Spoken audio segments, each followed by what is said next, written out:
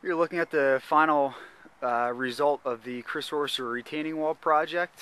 It is uh, February 25th and as you can see we put in a, a, retaining wall. So if you're looking to get any uh, hardscape or landscaping projects done um, you don't have to wait till the springtime. We could do it for you now. Um, contingent on the weather. You know sometimes it snows and we have to we're held up a day but um, any hardscape project can be done in the wintertime and this is just a testament to it. I mean look how great this wall looks. Look at the, the different size and the, the, different colors of the stone. Um, just a really dramatic effect when you walk out the back door and see a, and see a wall like this.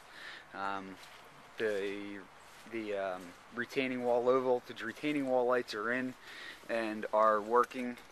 Um, which is going to just give this wall a dramatic effect at night too. So when they when the homeowner walks outside at night, uh, they're going to see the wall and just see uh, how great it looks. Um, you could see over here, the wall again, adding uh, just a subtle detail to the wall, kind of steps down uh, as as the grade does, as the hillside does.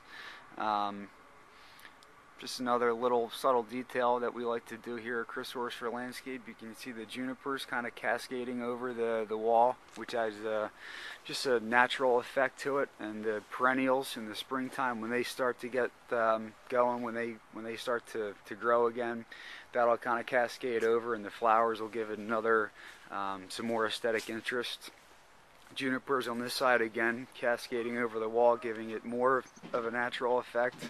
So this this whole wall is just it really turned out great and it, it looks magnificent. Um, any um, any lawn damage that we have done in the back um, we have reseeded and we have graded out so come springtime um, when this grass starts to germinate um, it'll look as if we've we've never been here um, but it's uh, really happy with the final result here. And again, it's uh, February 25th, so don't don't hesitate if you're looking to get any uh, hardscaping work done. It is not too early to do this. Um, it can be done, and it can be done uh, before you start to use the outside, so you can actually enjoy it. You know, come spring, and you don't have to worry about any trucks or any uh, any construction during the times that you actually um, are outside using your property. But uh, this wall really came out great. It looks it looks awesome.